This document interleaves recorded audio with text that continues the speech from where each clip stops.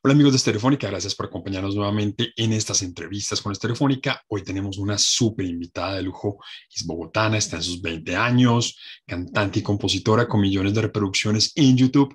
Bienvenida a Estereofónica, Susana Cala. Diego, gracias por estar por acá tú. Y, y nada, muy emocionada de contarte un poco de mí.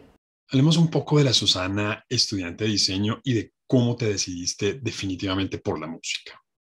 Pues a ver, la música siempre ha estado en mi vida, mi familia es muy musical, mi papá componía, canta, o sea, yo crecí escuchando las canciones de mi papá y así, entonces creo que siempre estuvo por ahí, siempre me encantó. Empecé a estudiar diseño, que igual es una carrera muy creativa, y en paralelo empecé mi carrera como compositora. Antes de incluso decidir ser cantante, empecé como compositora. Entonces casi que yo salía de, de la universidad a un estudio, a quedarme ahí hasta tarde, luego llegaba a mi casa, hacía tareas y así. Entonces era un poco la rutina, pero lo que más me gustaba hacer sin duda era estar en un estudio metida escribiendo canciones, así que decidí eventualmente escribir canciones para mí, cantarlas, contar mis historias yo y así empezó un poco la cosa. Susana, ¿cuáles son tus influencias musicales? ¿Qué te gusta escuchar? Eh, a ver, yo soy muy fan de Cani García, de Juan Luis Guerra, de Joaquín Sabina. Últimamente también estoy escuchando mucha música country y artistas como de lo que llaman bedroom pop eh, en, inglés, como Lizzie McAlpine y, este, y, este, y esta onda. Después de componer para grandes artistas como Cepeda, Jimena Sarimaña y Morat, decides lanzar tu proyecto solista. ¿Cómo fue esta transición?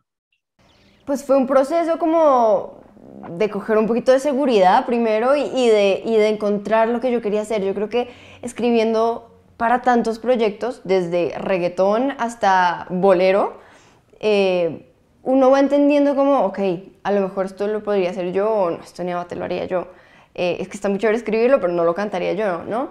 Y, y empezar a encontrar el sonido. Entonces fue primero un proceso de componer para mí, descartar y después decir, bueno, es el momento, saquemos algo que, que me llene.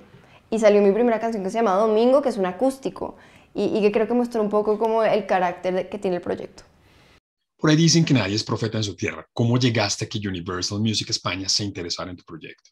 Pues justo fue por la parte de composición. Realmente em, recuerdo que estaba haciendo una canción para una artista española que se llama Ana Guerra y mandé un par de canciones cantadas por mí, pues porque así funcionamos, ¿no? Como uno escribe la canción, la canta y la manda a ver si, si algún artista se interesa. Y como que ahí escucharon la cosa y como que empezó a gustar y entonces yo también tomé la decisión de sacar mi proyecto y fue como ya me conocían y ya fluyó todo un poco más natural. ¿Cómo es el proceso creativo de tus canciones? ¿Tiene mucho que ver con lo que has vivido? Tiene mucho que ver con lo que he vivido, em, sobre todo cuando escribo para mí, a lo mejor cuando escribo para otro artista nos vamos más por lo que esta persona quiere decir o lo que sea, o nos inventamos cosas. En mi caso es mucho más personal, como las cosas que me han pasado a mí, historias que yo tengo por contar o que le ha pasado a gente cercana a mí. Estás estrenando No fue tu culpa con el cordobés Antonio José. ¿De qué se trata esta canción? Pues No fue tu culpa es una canción que habla de tener que terminarle a alguien, como literalmente decirle ya no quiero estar contigo, que es de las cosas más difíciles que hay, ¿no? Terminar, empezar esa conversación es horrible, sobre todo cuando uno no tiene razones concretas para hacerlo. ¿No? A veces terminar es un poco más fácil porque hay razones claras, como me voy del país, ya no quiero estar contigo, me pusiste los cachos, adiós, ese tipo de cosas. Pero no fue tu culpa, habla de una persona que es perfecta, que racionalmente te debería encantar, pero, pero no, hay algo adentro que, que no fluye y uno tiene que decirle como, terminamos aunque no me hiciste nada, no fue tu culpa. La producción y composición de la canción fue a la distancia. Cuéntanos cómo fue este proceso. A ver, esta canción lleva escrita tres años. ¿No? Y mm, es una canción que a mí siempre me ha encantado. Yo conocí a Antonio durante la pandemia por una sesión virtual de composición que tuvimos para él. Em, y nos conocimos y nos caímos bien y súper. Y yo tenía esta canción y yo decía, yo quiero sacar esto, pero lo quiero sacar con alguien. Y cuando lo conocí y toda la cosa, yo dije, su voz es perfecta, me encantaría hacerlo. Se la mandé, le gustó produjimos acá todo, yo grabé mis voces, se la mandamos, él grabó sus voces y luego ya cuando la pandemia aflojó un poquito, yo pude viajar a España a grabar el video con él allá en Sevilla, que es pues su ciudad. Entonces fue pues brutal, muy emocionante. El video fue producido entre Sevilla y Madrid. ¿Qué tal fue esta experiencia? Fue como con una diferencia de tiempo como de tres meses. Yo me fui a Madrid porque justo fui a abrirle los conciertos a Morat en España. Entonces estuve allá un tiempo y aproveché esa ida para ir a Sevilla y grabar con él. Entonces yo estaba en Madrid, a las 5 de la mañana salí en un tren a Sevilla y a las 5 de la tarde estaba de regreso en Madrid porque era, al día siguiente me iba a Bogotá. Em, y después de tres meses se completó el video con esta parte en Madrid, que son la parte de las parejas, de los actores. Em, y ya se unió todo y aquí se acaba de salir la canción este mes.